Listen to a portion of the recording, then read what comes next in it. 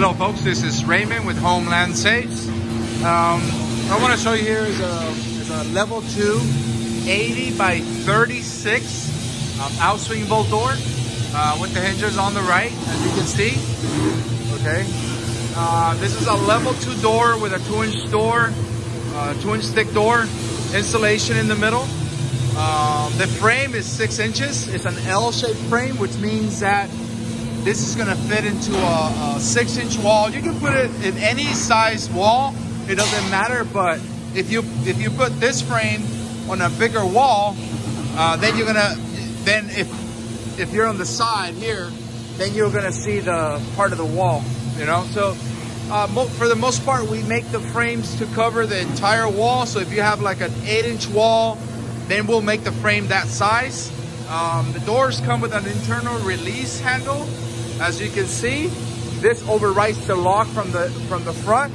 All you do is just turn it, and you can see the bolts go in and out, and then it locks it. It locks up automatically. Um, also, what I wanted to talk about is uh, this.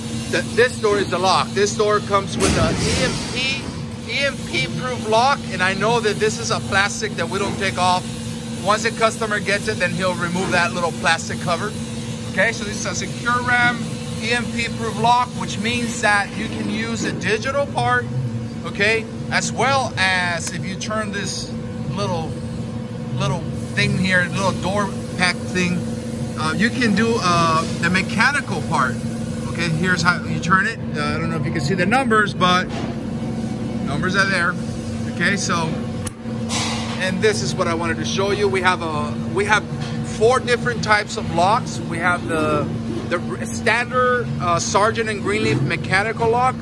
Uh, we also have a digital lock, just a digital. And then we have the um, EMP proof lock. And we also have a fingerprint lock. So if you want to open it with your fingerprint, we have that as well. If you have any questions, please give us a call.